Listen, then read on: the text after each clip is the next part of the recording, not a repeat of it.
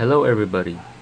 So today we're going to be reviewing Tarmac Works BMW M3. This is not just one regular M3. This is Emmanuel Pirro's BMW M3 that won the Macau Guia race in 1991.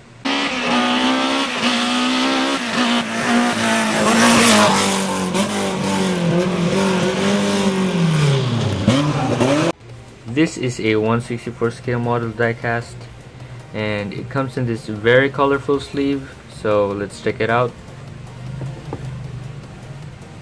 Right here you can see linings of the car with its logo same with the back.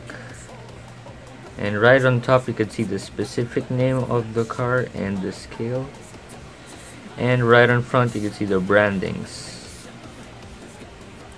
Last is the bottom which is just more details. This diecast, just like most of Tarmac's products, comes in a display case and the platform actually has brandings over here and info about the car itself and that's actually pretty neat in my opinion.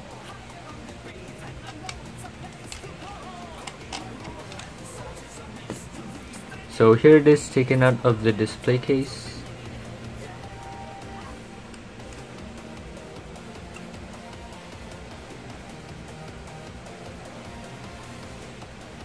And now let's take a closer look in each of its parts.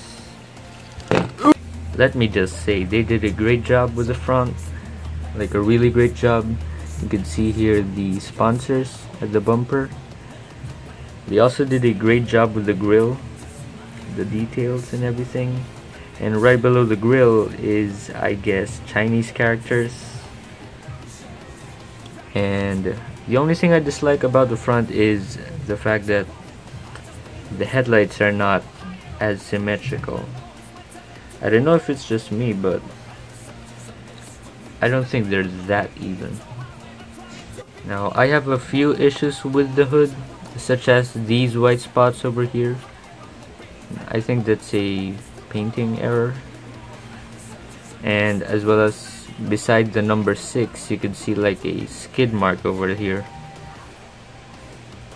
But aside from that I think the hood still looks very great I really like the windshield because they added this tiny windshield wiper over there and they also did a great job with the roof now the rims on this car looks very great.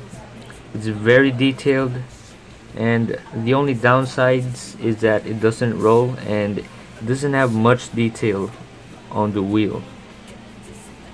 The back only has a few things going around with it such as more sponsors, a BMW emblem, and the tail lights which look very good in this three-tone color. Now what disappoints me is the exhaust pipe because they didn't even make it silver, they just like slap it on there or something. Last is the interior. The interior has a roll cage and they both come in this bright red color.